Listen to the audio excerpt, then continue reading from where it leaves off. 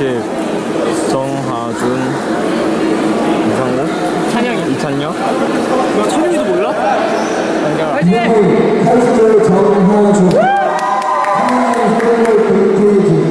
사랑의 80대 이찬혁. 사랑의 80대 이준하.